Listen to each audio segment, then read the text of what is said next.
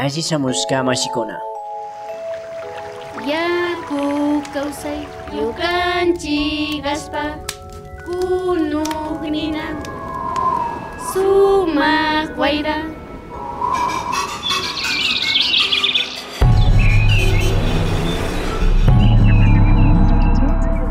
Minga por la Pachamama, una ventanita entre el campo y la ciudad.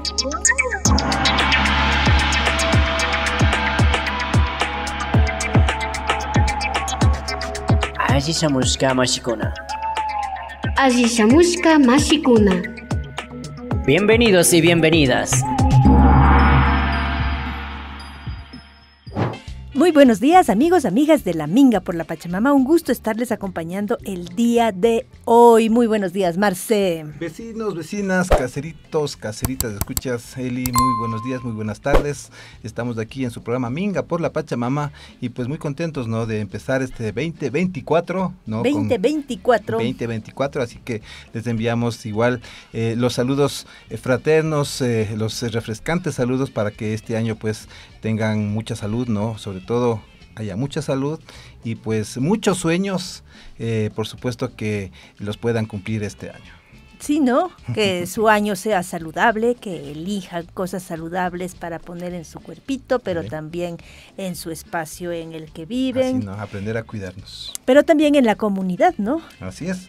Y pues, eh, por supuesto, también enviamos eh, saludos fraternos a todas las radios comunitarias que también se suman a esta minga, como es Radio Latacunga en Cotopaxi, Radio Antena Libre en Esmeraldas, Radio Alfaro en Manabí, Radio Buen Pastor en Loja, Radio Erpe en Chimborazo, Radio Frontera en Tulcán, Radio Irfe Yal en Pichincha, Radio Ru- Runacunápac en Bolívar, Radio Ideal Tena en Napo, Radio Sucumbíos en Sucumbíos, Radio Salinerito en Bolívar, Radio La Voz de Guamote en Chimborazo. Radio Intag en Imbabura, mm, y también, por supuesto, por el canal de Corape Digital TV. Enviamos también abrazos fraternos a todo el equipo de Corape, ¿no? Que está ahí tras eh, los equipos, eh, tras todo este tejido, tra- está toda la articulación con los medios comunitarios y por supuesto, pues en los sonidos a Karina Torres, eh, que está ahí en, eh, garantizando una buena señal de audio y también a Paul Salas, que está en la buena señal del video. Así ¿Qué que un saludo y un feliz año, un próspero, feliz año y un saludable año para ustedes también, a los amigos, amigas de la Corape. ¿Y cómo estuvo la minga por la Pachamama en este 2023? En este 2023 vimos con alegría que se reactivaron después de la pandemia del COVID-19 las ferias agroecológicas de la Universidad Central y de la, y de la Andina, mientras que las ferias de Nayón y la Carolina siguen brindando salud a sus caseritos y caseritas. En Cayambe, la Feria Bio Vida cumplió 15 años que lo celebraron regresando a la Plaza Dominical. Sí, esa plaza dominical emblemática y que hoy es plaza intercultural en, con quienes hemos ido celebrando también con las compañeras de esta red tan importante ¿no? que han ido aprendiendo ¿no? organizarse. Ujú, También en el 2023, el gran misterio de la vida nos fue revelado por la cuica cósmica, con quienes nos acercamos a los hongos y a las bacterias que descomponen la materia orgánica y crean suelo. La gran invitación que nos hicieron es que nos es que es este tema de la clasificación de los residuos y la maravilla del compostaje. aprender a compostar, ¿no? Y en el Bicentenario, aquí en Quito, en el Parque Bicentenario, la familia Negra sigue cuidando eh, su bosquete andino, un bosquete público en un espacio público, cuidado por la familia, en donde el sol y la fotosíntesis de la mitad del mundo lo vuelven cada vez más frondoso, con árboles y arbustos nativos, y ya vemos que hay también pajaritos, ¿no? De diversos, eh, con diversidades que también se están acercando a ese espacio. Lindo, ¿no? Ajá. Y también en el 2023, los 11 ecosistemas de páramos en el Ecuador ya tuvieron su libro y aunque están amenazados por el cambio clim- climático, aquí en Ecuador, en la mitad del mundo, todavía existen. Todavía existen, hay que cuidarlo porque si no ya no vamos a saber estos tipos de páramos que se tienen. Ahora solamente en los libros nomás. No, pues ya por lo menos ya quedaron registrados. registrados. Ahora nuestra parte es cuidarles, a que no queden solo en los libros. Y por supuesto, es, ecuatorianos y ecuatorianas eh, decidieron dejar el petróleo del Yasuní bajo tierra en una consulta en la que también los quiteños y quiteñas se decidió que Quito se quede sin minería. Ahora el desafío se vuelve mayor. Debemos despertar nuestras genialidades para comenzar a vivir en otro mundo sin minería y sin petróleo, que es difícil, pero posible. Hay un gran desafío, ¿no? En realidad nos deja ese gran desafío el 2023. Y por otro lado, la red de mujeres líderes sigue organizándose mientras en Cayambe se investiga qué pasa con las mujeres y las florícolas. La Liga de la Lactancia sigue luchando por defender la lactancia de la fórmula. Y mientras unos nacen, otros mueren. También el año pasado, Isabela Nangonó falleció y ahora su energía sigue cuidando los grandes ríos de Intag. Saludos ahí a los compañeros de Intag. Sí, y al Ilalot dimos la vuelta en bicicleta para intentar traer de vuelta el bosque húmedo que alguna vez existió. Pepe Atuk nos acompañó, un par de gallinas capturó, pero lo que más le gustó fue un hueso de mamut que encontró. Lindo, ¿no? Fueron Ajá. esos paseos de la Vuelta al Hilaló en bicicleta. Y también la ruta del penco nos enseñó cómo esta flor cósmica ofrece una vez en la vida el shawaramishki. Y gracias a la magia de la fermentación se convierte en la bebida espirituosa llamada guarango. En Cuenca se realizó el Congreso de Nutricionistas de la región. Conocimos a hermanos, hermanas latinoamericanas que alertaron sobre el conflicto de interés de las corporaciones de alimentos ultraprocesados. Su, interfere- tu- su interferencia en las políticas públicas, privilegiando eh, su negocio antes que la salud de ciudadanas y ciudadanos. Hay que conocer quiénes son, quienes no les interesa la salud de las personas, de los niños, de los jóvenes, sino solamente su ganancia a costa de la salud. Ujú. Y en ese orden de noticias no tan agradables, este año, el 2023, también conocimos a los productos nocivos o malsanos, aquellos que hacen daños.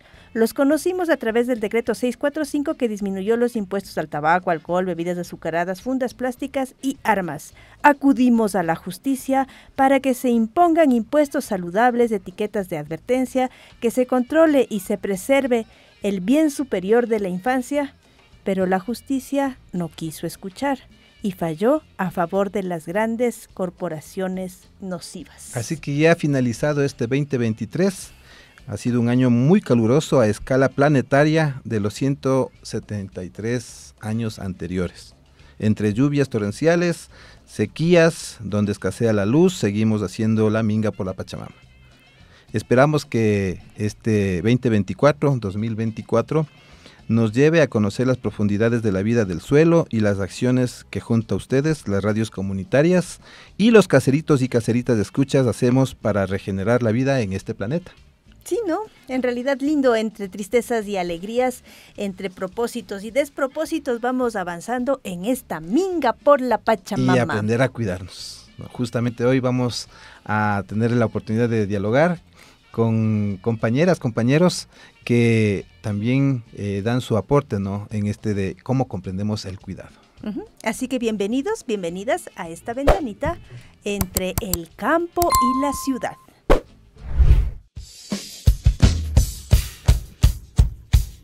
Estás escuchando Minga por la Pachamama. Y efectivamente, andando entre los Andes, avanzando en esta minga por la Pachamama, ahora estamos con dos invitados muy especiales que nos hemos encontrado. En realidad, nos hemos encontrado algunas veces en este último mes, ¿sí o qué? De pura casualidad. Pasaba por ahí y me he encontrado. Así que muy buenos días. ¿Con quién tenemos el gusto? Hola con todos, mi nombre es Elielpi. Eli Elpi. Me pueden decir Eli, que es más fácil. Eli, Eli, Eli. Elpi y Eli. ¿Y con quién tenemos el gusto? Hola, buen día con todos. Mi nombre es Molgut. Molgut. Eli Elpi y Molgut. Cuéntenme, chicos, ¿qué es lo que hacen ustedes? Bueno, primero que nada, eh, es muy grato empezar el año de esta manera para poder llevar nuestro mensaje, eh, de nuestro mensaje en cuanto a nuestro proyecto. y es como un honor para nosotros poder que nos hayan abierto las puertas de este espacio para poder llevar eso, eh, este mensaje de salud hacia otras personas. Entonces, bueno. Qué chévere, oye. qué bueno, qué bueno. En realidad nos habíamos tardado en invitarlos. habíamos visto, pero no, no, no habíamos invitado. Pero, ¿y entonces qué es lo que hacen? Nosotros eh, proponemos una línea de cosmética natural ¿Ya? basada en los principios de permacultura. Las materias primas que utilizamos son aceites prensados en frío, mantecas de origen orgánico. Ya. Trabajamos con colectivos agroecológicos y entonces las plantas son de procedencia agroecológicas. Ya, cosmética. ¿Cómo me dijiste? Cosmética viva. Viva. Es como e- el concepto porque mm, a mí me parece súper lindo poder llevar este mensaje porque eh, siento que es como un una parte de la salud que no todavía no se habla mucho. Entonces, bueno, nuestro proyecto nació hace más o menos 10 años, cuando no existía mucho de cosmética natural. eh, y nace por que nosotros no queríamos utilizar los productos que nos vendía, nos vendía la industria. Para la, para, para la piel, ¿no? Eh, O sea, en general de higiene, de piel, de mm, rostro. Entonces no queríamos usar y no había mucho que usar en ese momento, más que agua y bicarbonato de sodio. Entonces em, surge como porque mi compañero Molgud estuvo con algunas comunidades indígenas de Colombia ya. y mm, entonces ahí se nos abre como el, el conocimiento, tal vez sería destino o lo que teníamos que venir a hacer a la tierra, pero fue como abrirnos eh, la oportunidad de poder crear productos que sean libres de sustancias tóxicas como derivados del petróleo, parabenos, disruptores endocrinos y además adentrarnos al saber de que todas las cosas que nos venden en realidad son venenos y encima nos venden. Mm, Y cuestan full. Y cuestan, ajá. Entonces, ¿qué te parece si para empezar cuéntanos, Molgut, qué fue lo que encontraste en esas comunidades indígenas en Colombia? Mm, bueno, eh, mi pregrado era como en educación artística. ¿Ya? Entonces fui a las comunidades a trabajar desde la educación y el arte. Ajá. En una de estas de estos encuentros me encuentro con una abuelita que era Margarita Margarita. y nos fuimos a caminar que a recoger plantas en el páramo justamente. A ver. Y fuimos a recoger plantas medicinales después de una caminata como de cinco horas. Y recogimos papachina, eh, eh, otras medicinales como para la tos, expectorantes, con ya. olores mentolados. Ya, ricas, así mentas. Estas Y ahí volvimos. Y entonces eh, estuve viviendo con ellos ahí como alrededor de unos dos meses. Y, eh, y entonces empezó como el aprendizaje de las plantas. O sea, de Margarita te reconocer fue las diciendo plantas. esto para esto, Sí. esto para esto. Los palitos para esto, eh, estas plantitas de hoja tal son para esto otro. A reconocerlas también las propiedades dependiendo los aromas. Es como un Ah. conocimiento bien intuitivo. O sea, es, es de lo concreto, ¿no? Sí. O sea, del, del tocar, del sentir, del oler. Eh, y me imagino, ¿y esa experiencia a ti? ¿Te movió el Em, piso o no fue tanto así? ¿O fue lueguito? ¿Cómo fue? La verdad es que previamente había estado, yo ya era vegetariano, ¿Allá? ya tenía una- un estilo de vida, digamos, saludable, Pues practicaba estabas en la deporte. búsqueda, ¿no ve? Sí. Y en una de esas, a mis 23 años, me dio un tumor. Me dio un dolor no. intenso que dijeron que era apendicitis, pero cuando me pasaron al, al quirófano, Quirófano. me encontraron un tumor del tamaño de un puño. Oh, Entonces lo extrajeron de una vez y, y yo decía, pero ¿cómo así? ¿cómo? Ah, ¿Por qué? Si yo me Sí, cuido. si claro, ya era vegetariano, ya hacía vegetariano. Entonces dije, ¿qué pasa? Y claro, ya esto entonces empieza a cuestionarme qué es lo que estoy consumiendo, qué es lo que estoy haciendo. A la par también encuentro este saber ancestral de las plantas. Ya. Y entonces me, nos, me surge esa inquietud y empiezo como a indagar. Luego nos conocemos con Eli y con Eli ya concretamos el proyecto así de Munaiki. Y entonces ahí empezamos a hacer pasta dental, shampoo, desodorantes, jabones, ungüentos medicinales. Sí, y ahorita ampliamos la gama también a ofrecer, a ofertar eh, maquillaje natural, Ya. sí, libre de plomo, de derivados del petróleo, de parafinas. Mm, que viene todos estos, estas sustancias tóxicas. O sea, a ver qué más puedo yo aportar. Em, es como la cosmética natural lo que hace es como reivindicar prácticas ancestrales, que es como este, esta conexión, este conocimiento de las plantas y em, llevarlo también con prácticas actuales, ¿no? Como, eh, como creaciones bastante tecnológicas y un poco modernas para crear productos, pero viene como con esta idea de, mm, o sea, de entender que, por ejemplo, cuando nos duele la barriga, a veces nos tomamos un agua de orégano, porque las, el orégano tiene ciertas propiedades que benefician a, a que sea analgésico. Y entonces, si logramos entender que las plantas tienen sus cualidades, sus principios activos, es como el alma de lo que tiene la, eh, la planta para ofrecernos, eh, y así logramos crear nuestros productos, ¿no? Es como una formulación mucho de, de, a ver, este producto va a tener esta planta que nos va a servir para esto. Sin embargo, bueno, las cualidades de las plantas muchas se parecen, ¿no? Por ejemplo, para el estómago, que hablábamos ahorita, puede ser el orégano, la manzanilla, eh, pero es muy bonito trabajar con las plantas y como reconocer este, este saber que es tan gigante y tan ancestral que uno solamente es como un servidor que nos hemos puesto al servicio de, de poder crear eh, estos productos y poder ofrecer algo que es limpio, o sea, como que tú te vas a poner y no vas a tener luego consecuencias o, o que luego, no sé, em, o sea, porque hay muchas consecuencias del, pro- Mm. del consumo de productos. sí, sí. Solo que no está tan hablado y luego, bueno, llegan ya con enfermedades crónicas y fuertes y claro, ahí sí les prohíben, no, no pueden consumir nada de productos que tengan ingredientes químicos. Entonces, nuestro propósito es que antes de que la gente se enferme, y es como un, cam- es como un trabajo de hormiga, porque sí siento que lo que nos ponemos en la piel em, todavía no está tan hablado. ¿no? Y bueno, además también esto va a las aguas, ¿no? A los ríos.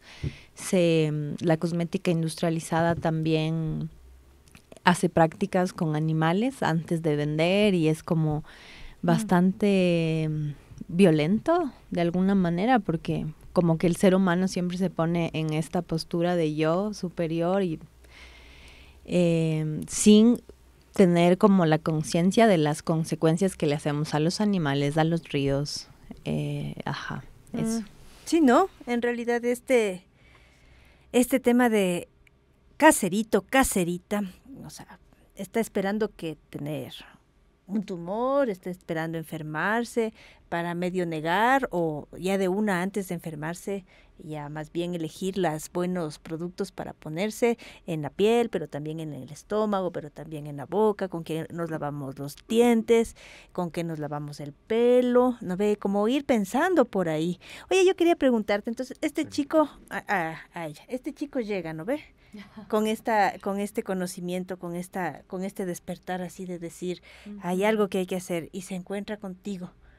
¿Cómo es que tú te animaste a crear esta genialidad de Munaiki Cosmética Viva? O sea, yo me acuerdo que fue hace bastantes años y había renunciado a mi trabajo. Ah, renunciaste a tu trabajo. Ajá, yo trabajaba para, para el, el sector público y mm, había renunciado y estaba como Y ahora. diciendo, bueno, universo, ¿qué hago? Ah, y entonces ahí aparece él. Sí, y, y bueno, queríamos tener como, o sea, yo quería tener un trabajo, una labor, un proyecto que me haga sentido, ¿no? Que, que sienta que aporto algo al mundo, que es como mi granito de arena Entonces, claro, cuando empezamos, empezamos haciendo dos productos. Y era difícil, como que la gente era difícil sostenerse. Claro. Eh, fue un camino así, claro. Además de esto, la gente tiene como la desconfianza, porque prefiere siempre comprar a una farmacia o a una tienda grande eh, o de marcas conocidas. Entonces sí, fue un camino bien difícil, pero ha sido bien, bien bonito porque es como que el proyecto de Munaiki siento yo que es como una misión, como un hijo prácticamente. Realmente tener un, un proyecto, un emprendimiento que, que ames, es- te va moviendo en, en fibras súper, de, de muchos aspectos muy variados, ¿no? Entonces Está por ahí. nos conocimos y bueno, salió Munaiki. Ajá, tuvimos un hijo. Munaiki. Y entonces, este Munaiki Cosmética Viva, eh, comenzaste, dices, con dos productos. ¿Qué productos eran? Eran los ungüentos medicinales y jabones. Ungüentos medicinales y jabones. Eh, y luego, esos, ¿qué, qué otros productos? ¿Cómo fue evolucionando? Primero con ungüentos medicinales, me imagino la cremita para el dolor, ¿no es Sí, cierto? más así como de caléndula, de romero. ¿Esos todavía existen? Sí. A ver, los inicios de Claro. Munaiki. Veámosle. Ah, mira, el ungüento medicinal de tomillo, por ejemplo, este. Por ejemplo, el tomillo es una planta que tiene un montón de beneficios en la gastronomía y bueno, también para, para la piel, para la salud, es también como anti- antiviral. ¿Tomillo? El tomillo, ajá. Ajá. Por ejemplo, muchas, muchas personas cuando se enferman eh, se hacen vaporizaciones o agüitas de tomillo, ¿no? Ajá, tomarte en vez del jengibre o limón, que es como lo más clásico, el tomillo ayuda mucho cuando hay procesos virales. Virales de los virus. Ah, mira, efecto antimicótico, que es anti-hongos. antihongos. Oh, muy El tomillo. bien. Y, por ejemplo, el ungüento de matico. Elimina bacterias y hongos de forma natural. ¿Para qué lo utilizas el ungüento? O sea, y este te pones en la piel. Sí, este producto, por ejemplo, tiene eh, tres ingredientes, todos los ungüentos, ¿no? Que es cera eh, de abejas de procedencia de compañeros apicultores que respetan el cuidado de las abejas. Cera de abeja. Aceite extra virgen. El aceite extra virgen es como el aceite de primera prensión. Es el que conserva todos sus nutrientes. O sea, le cogen con una máquina y le aplastan las semillas y de ahí sale todo el aceite, ¿no? Entonces, el aceite que conserva todos sus nutrientes y las plantas, en este caso, eh, matico. Ah, perdón, también manteca de cacao. Ya. Que, ajá, tratamos que, de, que bueno, que es también orgánica. es que también es lo mismo que le hacen al cacao, ¿no? Le prensan y de ahí sale la Sí. manteca del cacao. Ujú. Ah, Entonces el ungüento de matico eh, tiene esto de que decíamos, ¿no? Que a veces las cualidades de las plantas se parecen, pero también depende de la concentración de, plantas que uno le pone como para darle un poco más de para qué lado ir. Entonces el matico es un aliado también para, mm, para los órganos reproductores de la, de la mujer. eh, por ejemplo, se utilizan mucho en lavados. Este también fue creado para si hay alguna infección, alguna molestia, en vez de utilizar estos óvulos, eh, utilizar un ungüento, pero también como un como un ungüento, se me fue la palabra, como un lubricante natural, ajá, sí. y tienes de sí. varios sabores, tienes de romero, de Ajá. varios El de romero olores. Es como para piernas cansadas, estimula la circulación. Ya. Eh, esto de las varices. De las varices o pies cansados. O, Ah, ¿en serio? También para el dolor de Tónico. cabeza. sí. Tónico O sea, por ejemplo, es que el- las plantas nos han acompañado desde siempre, creo que han existido antes de, de la aparición del ser humano, ¿no? Entonces hay este como saber que está en como en la memoria, en los registros de cada planta. Entonces antiguamente, por ejemplo, se utilizaba el romero, eh, se ponía como unas ramitas o cerca para que a través del olfato tú puedas mejorar la concentración. Entonces, sí, de eso se trata nuestro trabajo, Mm, el como de, de... Otra cosa que, que creemos también es que las plantas se equilibran en sí mismas. Y O entonces, sea- ¿qué pasa cuando los laboratorios químicos aíslan una sustancia de la planta? Ahí es cuando se generan los efectos secundarios, porque la planta por sí sola se equilibra. Ah, Sí, tiene otros completa. componentes, exacto. Ah, Y entonces cuando se aísla un componente químico es que se generan los efectos secundarios. ah, ve qué interesante, igual como cuando nosotros hablábamos de los alimentos y una época los nutricionistas decían la manzana o el las frutas tienen vitamina C y aíslan solo la vitamina C y le Claro. sacan en extracto y luego te hacen la pastilla y el efervescente de la vitamina C. Pero la manzana no solo tiene vitamina C, sino tiene todos los com- Claro. compuestos y funciona y es un alimento real, entero por eso mismo. Lo mismo en las plantas, claro. Sí. y- Otra cosa que hemos eh, así como investigado o como en, en los procesos de investigación que hemos tenido es que el asunto de la asepsia ha marcado como un camino y un derrotero a seguir en, en cuanto a la salud y a la farmacéutica. La asepsia no. Sí, como esa idea de limpieza, de pureza, de tener casi como un quirófano. Limpio todo con La cloro, cocina, con sí. desinfectantes, o sea, todo limpio, limpio, limpísimo. O sea, más que limpio es que la probiota y también eh, el contacto que tenemos con las bacterias generan también nuestro sistema inmune. Entonces, algo importante que acabas de decir es el asunto de la alimentación. El 70% de nuestros anticuerpos está en el sistema digestivo. Casi que hay más eh, neuronas en el sistema digestivo que en el cerebro. Es casi nuestro segundo cerebro. El sistema digestivo. Sí, ¿Por qué? O sea, por la cantidad de neuronas. que tiene.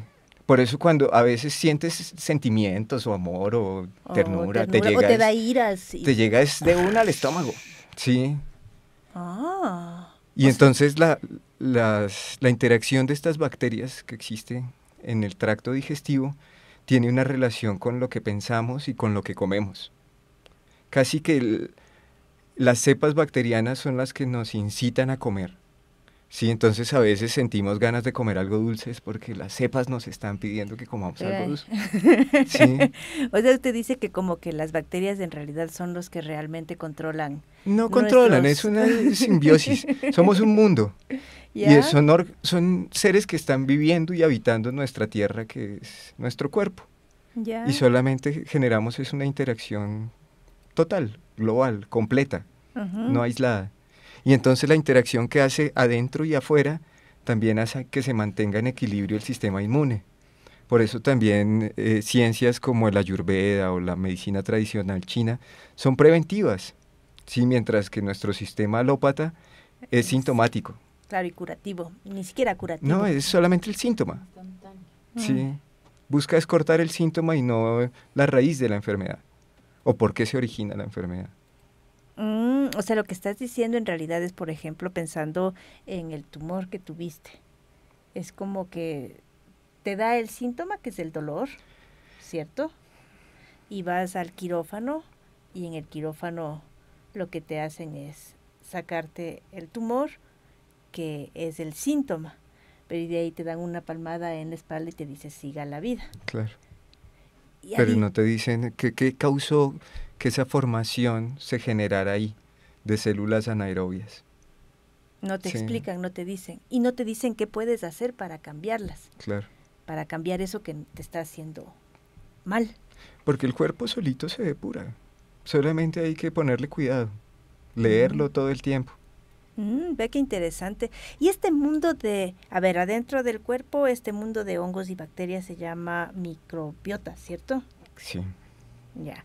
Entonces, este mundo de hongos y bacterias en realidad no es una suerte de control, sino más bien es una suerte de asociación.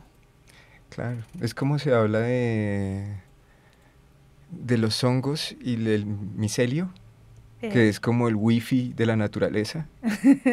Sí, hay otras conexiones también que tenemos más energéticas o más eh, físicas también con, con estas Con bacterias estas o con estos seres que, que están ahí. Mm, y aquí adentro, entonces, en nuestra, en nuestro sistema digestivo, en la pancita, eh, entonces ese, ese dicho que saben decir es que lo hice sin pensar, lo hice de lo que me salió del estómago. Es que, sí, la vez pasada veía un documental de la Dolce Vele que hablaba sobre la manipulación ¿Ya? y decía que tú podías pensar una cosa, pero la emoción es la que te hace accionar. Tú puedes Ah. pensar y decir, ah, sí, racionalmente yo tengo, no voy a consumir plástico, pero si te vienen y te presentan un envase bonito y dices, ah, sí, se lo voy a regalar a mi amor, ah, ya emocionalmente prefieres comprar el plástico porque lo relacionaste con, Con el cariño. sí, con la emoción. Y accionas es del- desde la emoción y no desde la razón. Ah, ve. Y entonces, Munaiki, cuando tú haces estos ungüentos y haces este, esta cosmética viva, eh, ¿cómo trabajan las emociones? ¿Han pe- ¿Le han pensado? ¿No le han pensado? Mm, Tenemos perfumes. Sí. ¿Ya? Hay estudios que demuestran que los primeros recuerdos están asociados a sensaciones olfativas. Ya, porque no ves, ¿no ves? No, eh, cuando nace el nene, tiene un, un periodo que es el de hipersinestesia, donde todos los sentidos se están mezclando. Entonces, se entremezcla el sonido con el color y el aroma con el sonido y todo se va mezclando así hasta cuando empieza a aparecer el lenguaje. El lenguaje ya aísla como las formas de ver, de oler, de decir, de hablar. de- ¿sí? Ah, muy, muy de lo concreto. Sí, como de aislar ya veo, veo y esto recuerdo desde lo que veo. Entonces, los estudios que han hecho eh, concuerdan es que en el tálamo se almacenan los aromas y son las primeras sensaciones olfativas, como recuerdos. Y el tálamo Está en la parte baja del cerebro. Cerebro, o es sea, como el, el- en el centro por aquí. en el centro abajo, Ya. sí, como arriba del paladar blando. Allá. Sí. Ah, Y por eso entonces- se huele ahí también. Claro, cuando, por ejemplo, la cosmética convencional o los perfumes convencionales utilizan unas sustancias que son los talatos. Y los talatos son fijadores químicos que se fijan en el tálamo. Y a la larga vas perdiendo sensibilidad. Ah, Sí, mientras que los aromas naturales que te llegan te generan sensaciones o de resguardo. Por eso tienes también afinidad con esos aromas. Sí, Ya. Por el recuerdo, por la sensación que te generan. mm. Y ustedes tienen este perfume natural floral. Este es con flores de lavanda, que es Ah. relajante. Este Y- es cítrico, Cítrico. que es con hierba luisa, naranja y bergamota. Ay, qué rico. Y este otro es de maderas, De maderas. que es con pachuli, palo rosa e incienso. Ah, pachuli. Y los fijadores que utilizamos son eh, aceites esenciales que tienen alta densidad para ayudar a fijar los aromas y resinas, Como el incienso, como el copal. Vean qué bonitos. Además tiene una presentación bien bonita, ¿no ve? Y la planta también cumple una función ahí de preservar el- los aceites esenciales. O sea, por eso está la hojita, Sí. por eso está la flor. ¡Ay, qué bonito! Y aquí, eh, por supuesto, las maderas. Sí, ese es con una ramita de incienso. Vean nomás. Y le ves que, o sea, en realidad está vivo, ¿no? Porque ahí mira, mira cómo tiene como las burbujas. Sí, sí, es toda una alquimia el asunto de los perfumes. ¡Wow! ¡Qué mágico!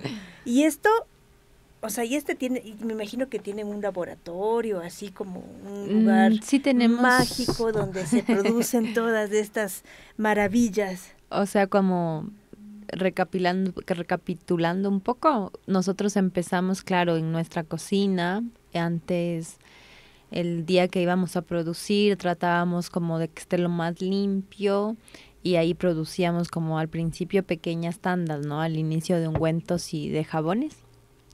Y luego mm, pudimos como estudiar también eh, un poco más sobre esto porque es un mundo bien interesante, ¿no? El de las plantas, como ya hablábamos. Ajá. Y estudiamos naturopatía aplicada a la cosmética natural. em, que eso fue ya otro, como un abrir así. y luego sí, ah, estuvimos, tuvimos la oportunidad de tener un espacio ya tipo laboratorio en atrás de nuestra casa en donde sí sucede toda la magia. no sabemos, yo a veces pienso cómo fue que creamos este producto, en qué estábamos pensando para crear esto y hacer las combinaciones, ¿no? Pero creo que sí, se, se ha ido dando y mm, creo que lo lindo también es como invitar a la gente cuando se habla de este tipo de, de temas, de invitar a la gente a que antes de usar un, un producto, sepa que todo lo que te pones en la piel va directo al, torrente sanguíneo, que no es nomás que está ahí en la superficie y listo. Mm, sino que entra directamente. Y también está bueno como leer qué es lo que te vas a poner, porque como que hay esto que hablamos, ¿no? De la pastilla para el dolor, chan chan. Eh, hay como una desconexión del ser humano, de uno mismo con, con todo tu mundo, ¿no? Entonces, ah, no importa, me compro esto y ni siquiera leo o estamos acostumbrados a los olores artificiales que mm. están en los productos.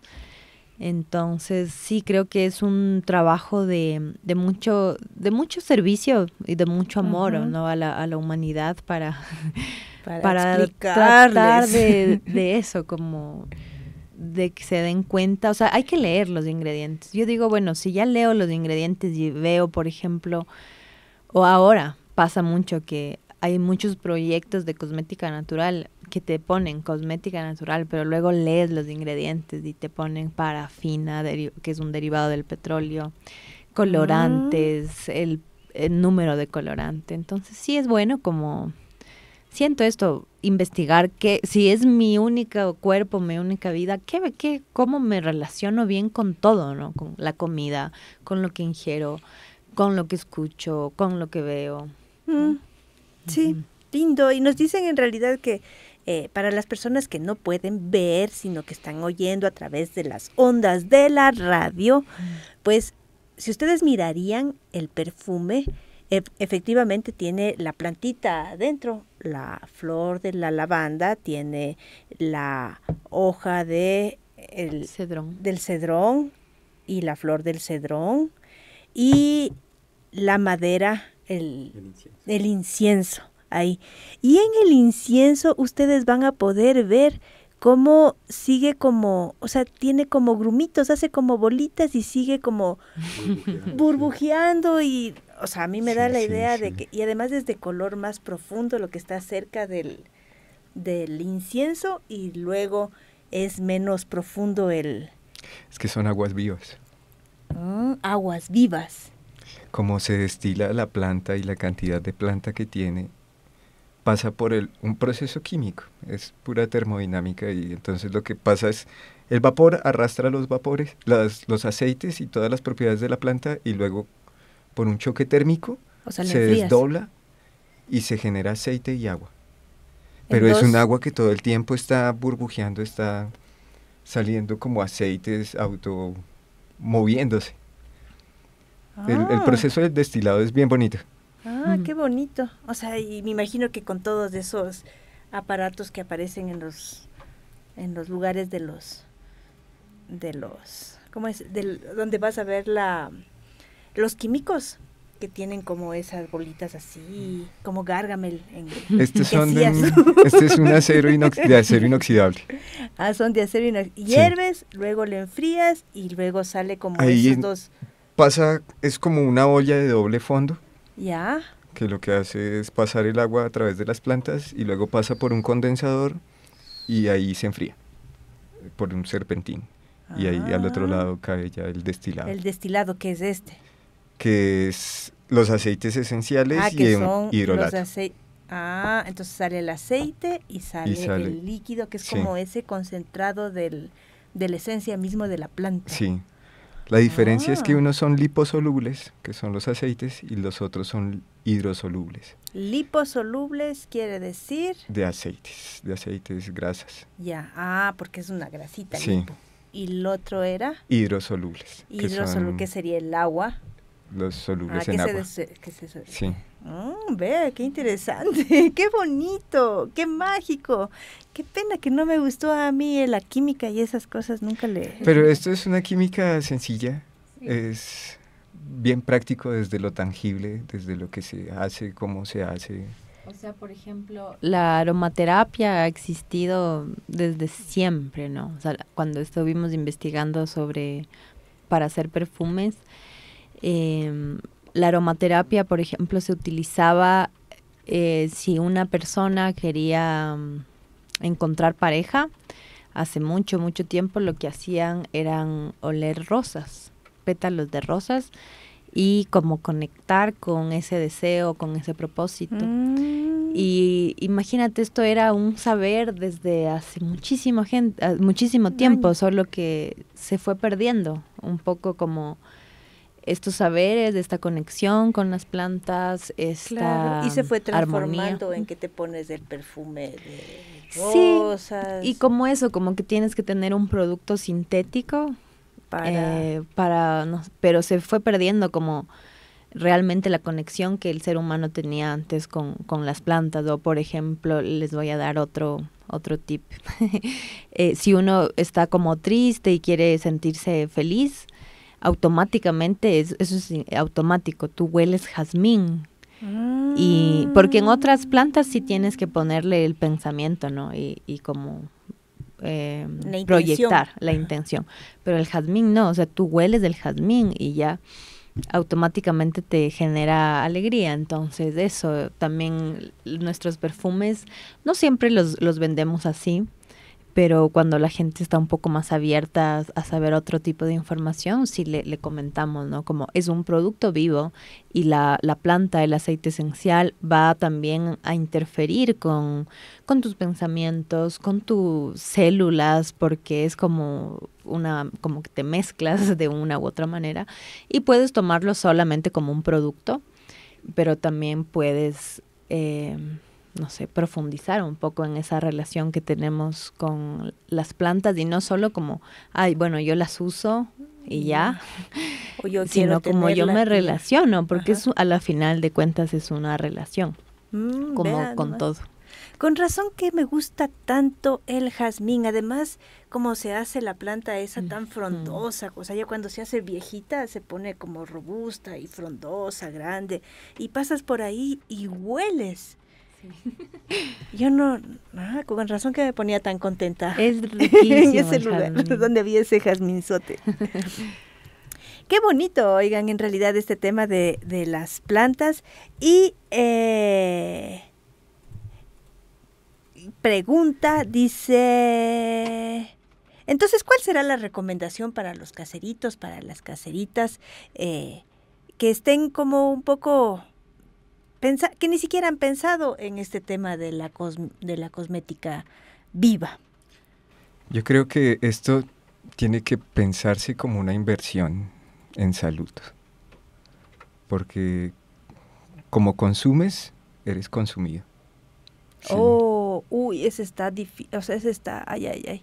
Recuerde, caserito, caserita, como usted consume, usted es consumido.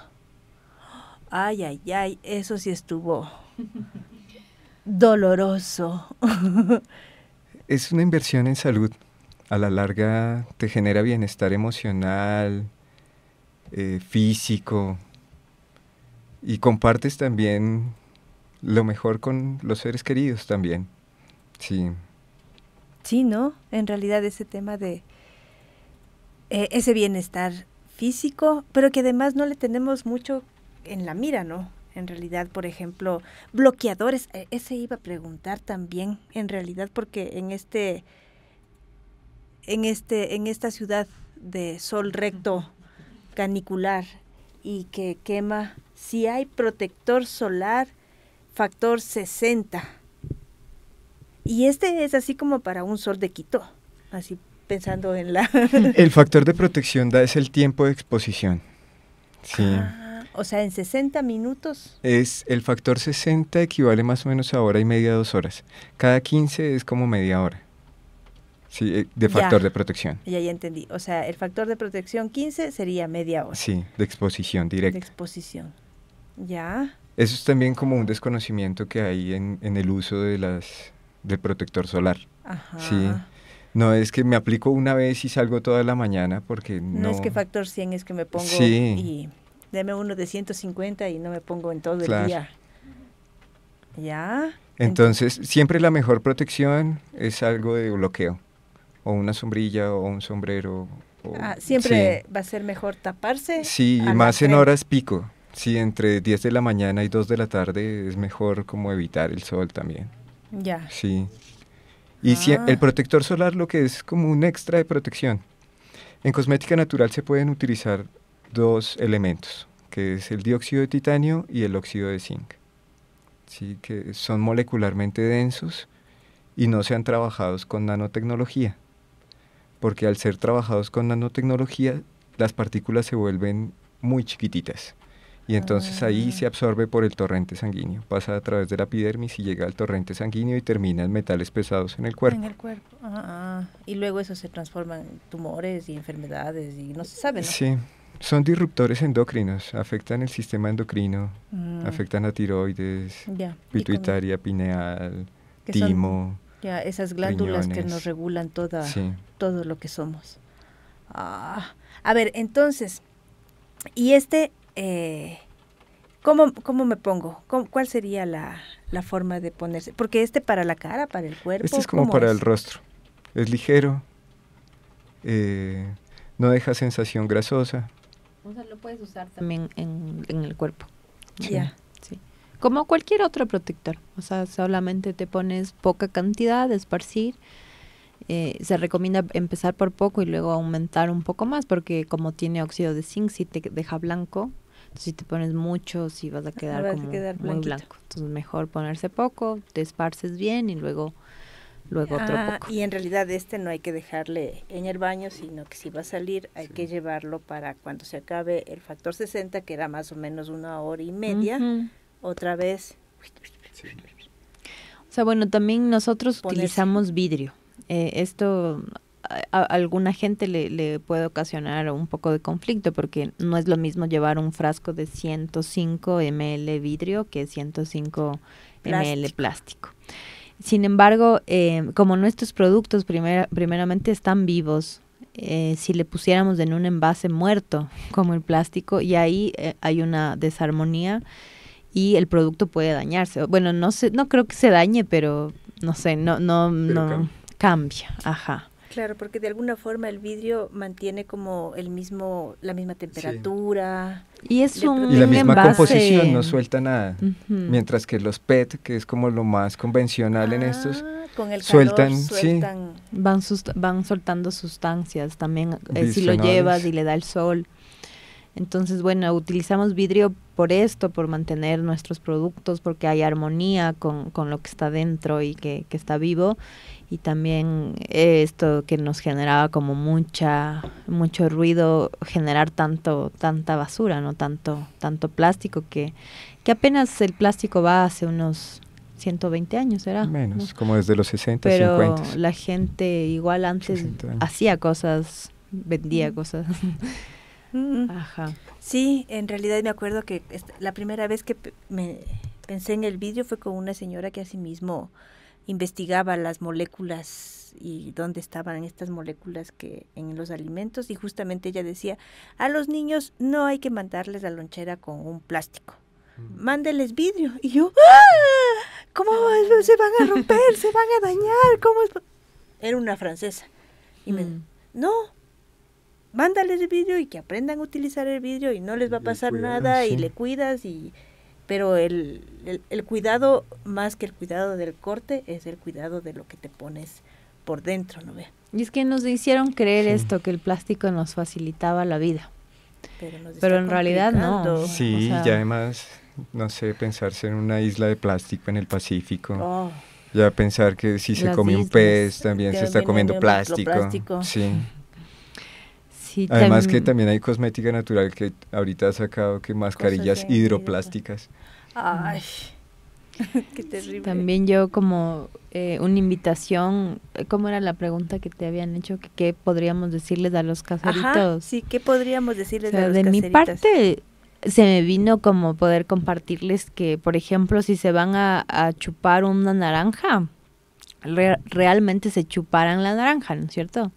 Entonces, cuando tú te conectas con esta planta, con esta fruta, eh, no solo es como que le, le comes y le botas chao, sino que toda la energía, todo el elemental de la naranja, incluso el árbol, se pone contento. Mm, Y esto es como una, una creencia del- del- de unas prácticas orientales, que cuando tú, por ejemplo, te, te conectas con una manzana, con un guineo o con lo que estés comiendo, eh, llega hasta el árbol y entonces el árbol recibe la- las señales eh, de wifi que hablábamos antes, de decir, ah, estoy haciendo súper bien y la próxima va a salir igualmente dulce, ¿no? Pero si comemos sin por comer, es como que el árbol le llega como, ay, como que no, y la, próxima vez va a salir más amarga también. Entonces, así es como en todo. Si te vas a poner una crema, conéctate con esa crema, con su olor, con el toque de tu piel, em, porque claro, no solo somos materia, no solo somos cuerpo y estamos como, como ya escuchamos todo el tiempo, conectados todo con todo, somos polvos de estrella.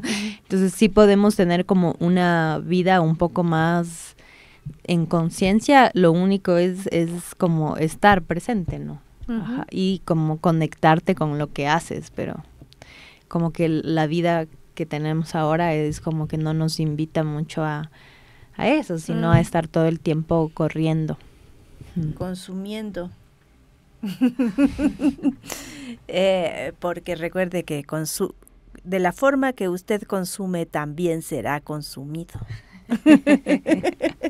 Ese estuvo, ay, ay, ay. Pero bueno, eh, y sí, no, esto de conectarse, y qué simpático cómo a partir de la cosmética viva puedes hacer este ejercicio de reconectarte con de dónde vienen los productos, pero también a dónde van Claro. que es lo que hemos ido conversando en este espacio. Tal vez chicos, chicas, algún producto que ustedes quisieran presentarle, que sea así como el que quisieran presentarle, A mí me parece importante este, ese que, que es, es la pasta dental. la pasta dental. ¿Y por qué eh, la pasta dental? Esta es libre de flúor y triclosan. El flúor, hay estudios que demuestran que es una neurotoxina. Sí, es un, un tóxico para las neuronas. Creo, no sé si habrán hecho estudios sobre esto, pero yo lo intuyo. Es una hipótesis que tengo. Que a partir del uso del flúor, que se ha masificado tanto, es que se ha generado también enfermedades degenerativas como el Alzheimer Ah. y la demencia senil y cuestiones neuronales. mm, Porque antes no existían estos problemas, antes del uso tan masivo tan del masivo flúor del flúor. y tan indiscriminado, porque una cosa es ir al odontólogo y que te pongan flúor una vez porque tienes una caries, pero el uso continuo y diario sí, de estas microdosis de flúor es el que genera el problema. Sí. Mm, pero ¿y ese esa pasta dental es una pasta dental que no viene en un tubito, sino que viene igual en un frasquito de vidrio, bien tapadita? ¿Y cómo le usas? Puedes ponerle con un aplicador directamente o a la boca y cepillas, o con el aplicador al cepillo de dientes, o sacas con la parte de abajo del cepillo, pones en la boca y ¿Y cepillas. cepillas? Ah, O sea, sí, no, no tiene... Como que a veces nos complicamos Ajá, también, es por la eh, forma en la que estamos acostumbrados a a usar las mirar cosas. las cosas. Y bueno, también cuando compras una pasta dental natural eh, o cualquier producto de cosmética artesanal, natural, lo lindo también es como que tú puedes conversar con, con el productor eh, y esto creo que totalmente motiva la economía circular, ¿no? Eco- Economía solidaria entre, entre todos, porque si le compramos así como, no sé, a, a, a Colgate, a Sensodine, eh, son marcas tan gigantes que ya no necesitan realmente el, apoyo de, de la gente y más bien necesitan como que la gente les demande ya, por ejemplo, no ponerles parabenos, no ponerles eh, ciertas cosas, ¿no? Pero sí siento que cuando tú apoyas a un emprendedor eh, de cosmética natural, de shampoo, de desodorante, es hay como una un impacto en la economía del país y también como se apoya la economía familiar, eh, y toda la gente que, que, está atrás, ¿no? Porque yo dudo, bueno, hay, hay empresas, ¿no? Como que ahora son muy grandes y son orgánicas, que siembran orgánico, pero pues, dudo que tengan como tratos con campesinos mm. o, o, con colectivos así que, que fomenten la, la, economía solidaria. ¿Qué tiene que ver sobre este tema de los de cómo nos conectamos, ¿no? También entre seres humanos de una forma más amigable, más armónica. Les cuento que tenemos saluditos. Verónica Parra dice saludos compañeros y que el año nuevo nos traiga conciencia y nuevas metas en nuestro caminar. Vamos cerrando, vamos terminando ya esta minga por la Pachamama. Linda esta invitación de cosmética viva. Mm, Munaiki, Munaiki, Munaiki, cosmética viva Munaiki, que nos hace esta reconexión, ¿no? Con, pero además nos hace esta invitación a estar conectados eh, y también a ver, ¿no? ¿Qué es lo que estamos consumiendo? Porque Va a ser el nuevo eslogan. El nuevo eslogan. de la forma que consumimos, seremos consumidos. Chicos, chicas, muchas gracias por acompañarnos. Muchas gracias por invitarnos. Eh, más bien, ¿qué te parece si Molgud, si haces un saludito, tus deseos para este nuevo 2024. Bueno, yo creo que desearles muchas alegrías, compartir con familia, eh, alimentarse rico y tener unos unas grandes metas que sean alcanzables también y que los logren alcanzar. muchísimas gracias, Eli. Deseos para este 2024 desde Cosmética Viva Munaiki. Bueno, eh, para este 2024 em, yo lo que les puedo desear es que piensen cómo quieren sentirse y por ejemplo si quieren sentirse saludables, esos, este sea su, su camino. Entonces van a hacer muchas cosas para ser, eh, sentirse saludables. Eso. Por ejemplo, yo me quiero sentir em, amada, por ejemplo, entonces sé que voy a hacer muchas cosas eh, solas para lograr sentirme así. No sé si se entendió, pero bueno, les deseo paz y felicidad. Muy bien. Y el Marce nos pregunta lo más importante, que es dónde podemos encontrar estos productos tan hermosos. Eh, bueno, estamos nosotros en Quito, en el barrio de La Gasca, que nos pueden visitar con previa cita. También en la Feria Agroecológica Articultura, La Carolina, los días domingos de 8 a 2 de la tarde en el Parque La Carolina. Y también por redes sociales eh, Monaiki33 es nuestra, nuestra red social en Instagram. Y si quisieran hacer una cita previa para irles a visitar, ¿cómo sería en las redes sociales? Al, al número de WhatsApp 096-288-9682 o al 096-259-0954.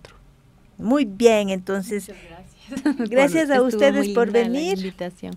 Gracias a ustedes por darse el tiempito y por el trabajo que están realizando. En realidad este tema de ir haciendo este trabajo de hormiga, de ir conversando con las personas y ir despertando de a poco algo, algo en esas mentes y en esos corazones y en esas barrigas que no quieren saber nada. Es difícil y más bien agradecerles ese trabajo de hormiga que ustedes hacen. Y lindo contar con ustedes también, iniciar el año aquí en La Minga por la Pachamama, con ustedes hablando de la cosmética viva, es también para nosotros un honor. Muchas gracias por acompañarnos. Muchas gracias a ustedes. Y recuerde, que viva la minga. Que viva. y recuerde, caserito, caserita, escucha que el poder de la minga, el poder del caserito, el poder de la caserita está en cosmética viva. Munaiki. Hasta la próxima.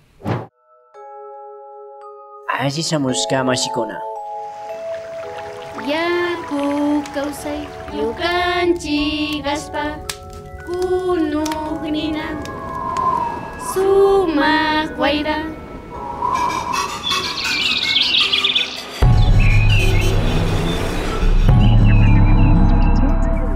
Minga por la Pachamama, una ventanita entre el campo y la ciudad.